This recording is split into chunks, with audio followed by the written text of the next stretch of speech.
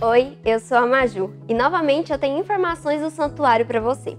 Nesse último sábado, a comunicação do santuário recebeu o padre Jonathan Costa e o seu auxiliar de comunicação Francisco Eugênio, do Santuário São João Bosco de Brasília. Juntos, eles discutiram a respeito da comunicação do Santuário Sagrada Família, que vem crescendo e pode servir de inspiração para eles, lá em Brasília. E o encontro Formando Mulheres Santas foi um sucesso.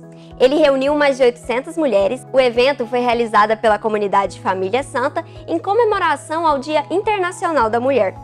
Ele foi feito por elas e para elas, um exemplo de evangelização. E temos a despedida do Padre Jamerson.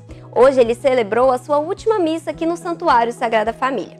Ele vai para a paróquia Santo Hilário e da mesma igreja vem o Padre Nelson para o nosso Santuário Sagrada Família.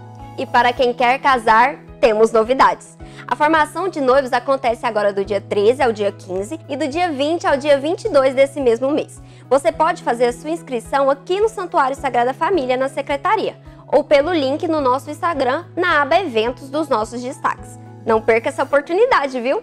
Lembramos que a primeira Romaria Arquidiocesana rumo ao Santuário de Santa Dulce acontece agora, do dia 12 ao dia 15 desse mês. E para você que gosta além de viajar, evangelizar, fica aí uma ótima oportunidade. E eu me despeço de mais um Santuário News. Eu fico aguardando você para o próximo, viu? Vencer Santuário, vencer Sagrada Família.